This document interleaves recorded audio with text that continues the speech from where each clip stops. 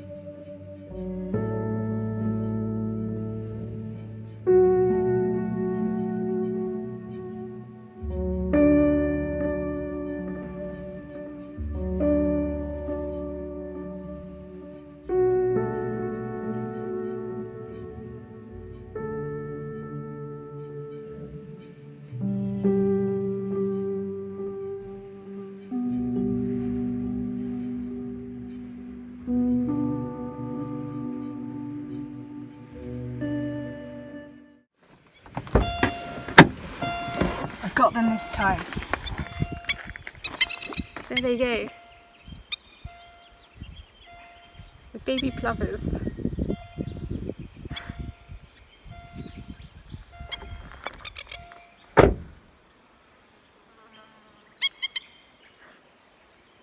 Worth the wait. Welcome to Saturday. Got a little bit of a bitty sort of a day today all kinds of little jobs that I want to get through. Um, it's currently sort of overcast, a little bit of blue sky, but thunderstorms and rain are predicted later. That's a bit par for the course for this time of year. There were thunderstorms last night. So I've got a few things that I want to do that are kind of undercover. I'm in my potting shed at the moment. Um, so let's have a quick look at some of the things. I was given this lovely old uh, toolbox and I uh, can't get enough of them. I already own two, but there's plenty of things that I could put in here, so I want to give this a bit of a, a renovation. Then I've got stuff I can put away inside of it. Um, there's some work I want to do on sharpening the chainsaws. I got this new file. Um, I'll show you why. You may recall in a previous video I was talking about this Timberline chain sharpening tool which we've been using very successfully on the Husqvarna, um, this chainsaw here. But then a while ago we got this Ryobi electric chainsaw which is mostly basically my chainsaw, Will's chainsaw. Not quite like that, but Will likes using this too. I just can't use that, I can't even start it. Um, but ever since I've been sharpening this using this tool here, um, it has broken.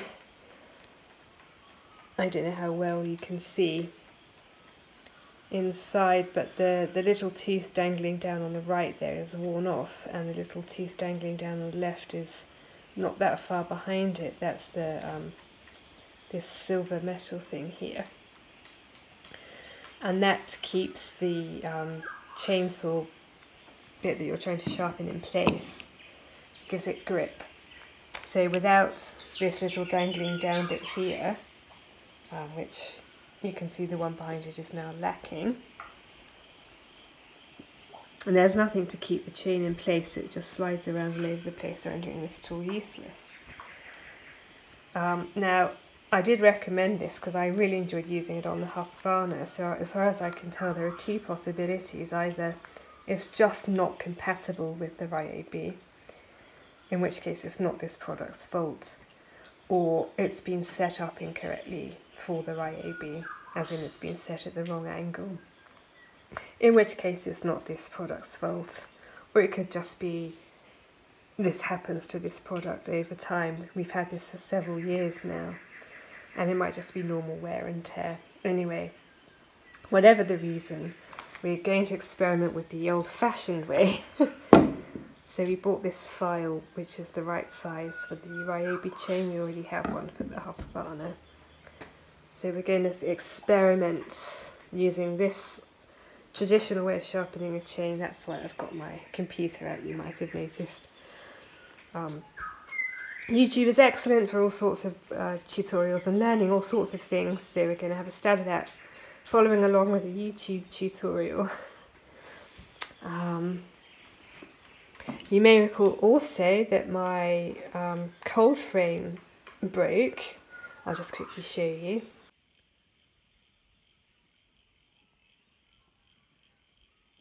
and I had patched the crack in the perspex with um, duct tape but we bought this clear all-weather tape to replace it. So we'll see how that goes. That's just vanity really. I, I did I did um and about buying it. It was like $22 it wasn't cheap. About um, 11 pounds 12 pounds. But I just I was so proud of the cold frame. I was, I didn't like the duct tape look. Not that this is much better, but it's a bit better. Um, and yeah, I was just vanity and pride. I wanted it to look at its best. So we'll see how that goes. Um, and then there's something else I want to do a bit later using this metal cutting tool for the uh, jigsaw. And I'll talk about that when I get to it. That all went very well. The tutorial was helpful and Will's expertise was helpful. So I've sharpened the Ryobi and we've come up with a plan for a sharpening setup that will make it easier to do one person um, because the chains will sort of wobble around and the chains move about. So currently without a, an appropriate vise, which we didn't need with the Timberline, it is trickier to do it with the file on your own basically the only way to get around it is to sit on the chainsaw. Um, but we've come up with an idea, a simple solution that I'll show you once we've built it. And um, so yes, that was all very successful. Onwards to the next thing. Later on in the morning, we finally embarked on what was said to be my main project for the day. I'm taking some of this metal that we had on the property I'm not sure what it's for originally. It's like the kind of stuff that goes into concrete, but I don't think it is quite. Um, and I'm cutting it up with the metal cutting blade on the jigsaw and I'm making little plant guards. I found that the sticks are relatively effective in some circumstances but not effective in all circumstances.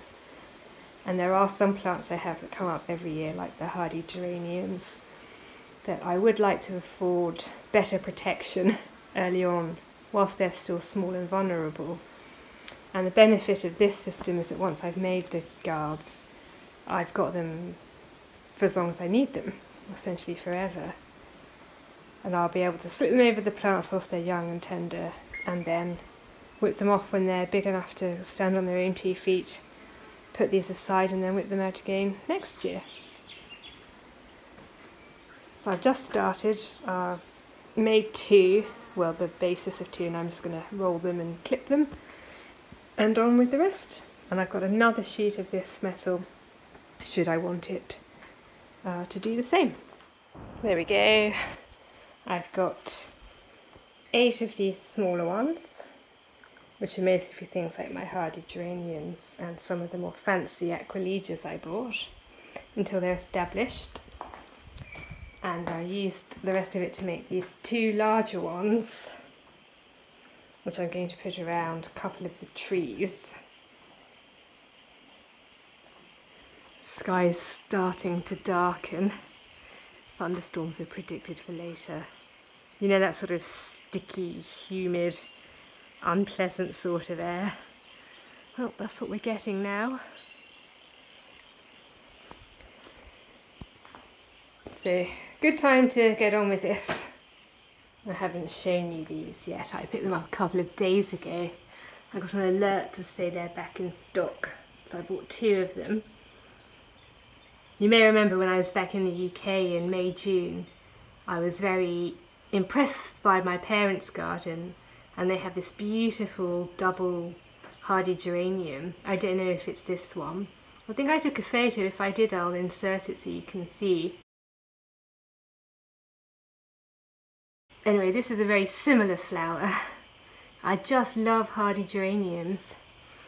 So I've got two to double the chances of success primarily, but also I do have a place in the garden for both of these. So one's going in my geranium bed and one's going in my current main flower bed. And then obviously down the line I'll experiment with taking cuttings and getting more of them for my donut bed but for the time being, now I've got my new cages, I'm going to go and plant these fellas out before it potentially starts pouring down.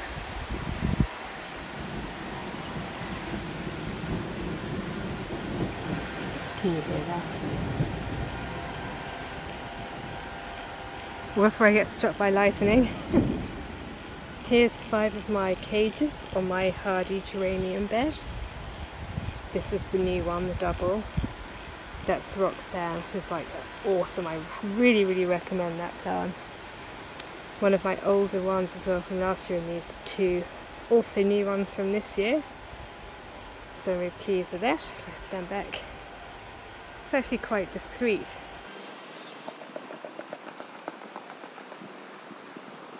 in my flower bed here's the other hardy geranium uh, this one is prefers a slightly shady spot so that's why I've chosen to plant them where I've planted them. This is underneath my rosemary. Then I've put the other two smaller cages around my newer uh, so this pinkier one which I showed you before and that one over there which has a yellow flower or at least it would. What prompted this was I noticed that something had come along and bitten the flowers off of that one. I think it's a bowerbird. They do like things that are yellow and they have attacked yellow flowers before. The thing that annoys me about that is that I was hoping obviously to collect the seed off of it. So I hope it will flower again. I think I can see one more flower starting to develop Hopefully this cage will protect it a bit from the bowerbirds there. There's a flower, I can scatter the seed. I put another one around the lemon that got um, destroyed by something. I thought it was a wallaby, I'm not so sure now. I don't know what did it, but as you can see, it's still looking pretty awful. I don't know how long it'll take for it to recuperate but I'll give it an, another wee while maybe till sort of autumn and if it doesn't do anything by then I think I will write that off and get another one because this is quite an interesting sounded, sounding lemon, um, you can apparently eat the fruit. It's relatively sweet or at least less sour. Um, not that I dislike lemons at all. I like the refreshingness of lemons. I often add lemon to my smoothies. Anyway, that sounded interesting. And then finally, you won't really be able to see it. I'm quite liking these cages. They are pretty discreet. I put one there around the flowering dogwood. So now only one of these trees has still got the original bubble wrapping and that's the tree that may or may not be a dud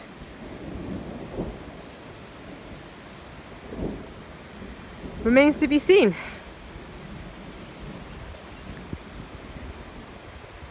Time to beat a hasty retreat anyway. But I'm very pleased with that. I might get some more of that mesh. I don't know where it came from. It was already here.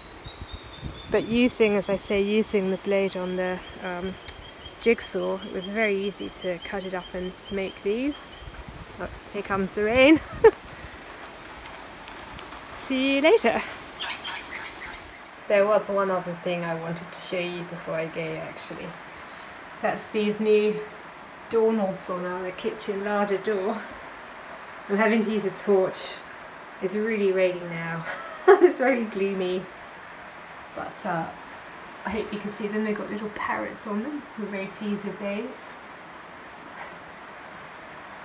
I'm actually not sure how much footage I've got now, so I will either see you tomorrow or I will see you next week. Either way, bye for now.